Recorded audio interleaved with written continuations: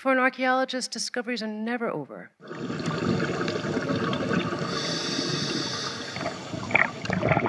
How do you know and you say nothing?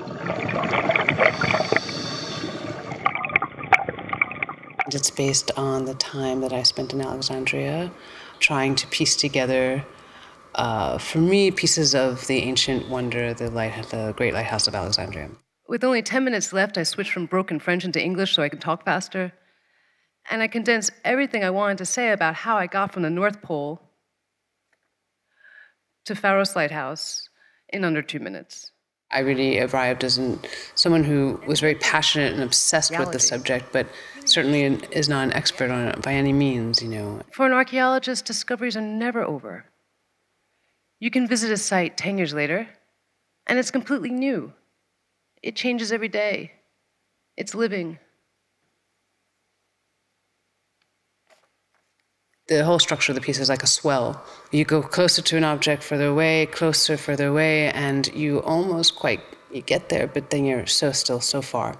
For me, the performance and also my the way I do work, it's like an archaeological site. There are many, many, many, many pieces on the seabed, and we never quite get the whole picture.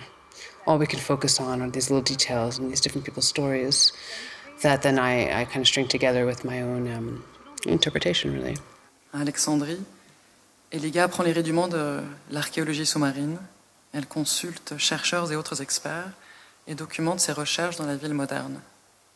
De ce séjour naît un vaste corpus composé de performances, de tirages photographiques, d'installations, de dessins, de vidéos, dont Measuring the Circle.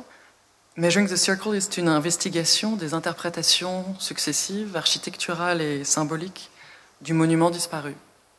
Une des choses qui me fascine le plus dans le travail des Légas, au-delà de cette persévérance, on a une artiste qui est une véritable exploratrice, c'est ce langage poétique de l'invisible. On sent très souvent euh, finalement une, une enquête sur les limites même de la visibilité, notamment photographique.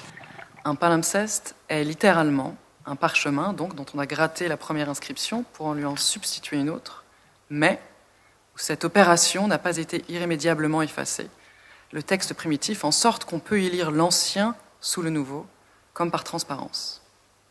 L'idée avec cette conférence sur, la palimpseste n'était pas nécessairement de parler d'artistes qui thématisent explicitement le palimpseste, mais qui plutôt, là encore de manière implicite ou explicite, se réfèrent à un contexte historique de l'art, soit direct, soit plus ancien, pour fonder, mais aussi se détacher euh, dans leur propre œuvre euh, d'une histoire qui peut être parfois pesante d'ailleurs. Je crois que cette notion de confrontation euh, parfois agressive, même d'ailleurs qu'on retrouve dans les œuvres de Naumann, est aussi un exemple à suivre pour euh, cette approche peut-être un peu réformiste, voire révolutionnaire de l'histoire de l'art.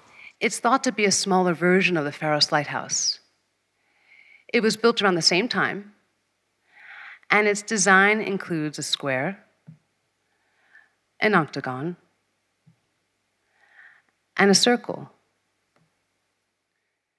Ce qui m'a assez intéressé finalement aussi dans cette euh, combinaison entre Bruce Nauman et les Gap et un certain nombre d'artistes que j'ai mentionnés, c'est euh, une exploration qui prend finalement le corps comme véhicule dans quelque chose de très concret et qui pourtant tend à une certaine abstraction et un certain commentaire, non seulement sur le fait même de faire de l'art, mais sur la manière dont on se positionne par rapport à d'autres œuvres. The hands express, obviously, and they communicate. It's not only in the literal aesthetics of the piece, but also within the piece itself. We do talk about hand gestures, and you're constantly seeing hands flipping books, and and it's for me that's the presence. You know, my back is to the audience, but really only because I'm directing people. I want people to look at the hands performing in a way, the hands laying out the images. It's the images that are are doing the performing. I'm, I'm more the vehicle and the voice. Saeed goes over his collection of hand gestures which we practiced on land in order to identify the stones underwater. Lighthouse, Pharaoh, Greek, Roman, Sphinx. The whole picture perhaps is a bit too authoritarian. I'm not um, interested in being the author, more of the person who cobbles these pieces together into a temporary entity in a way.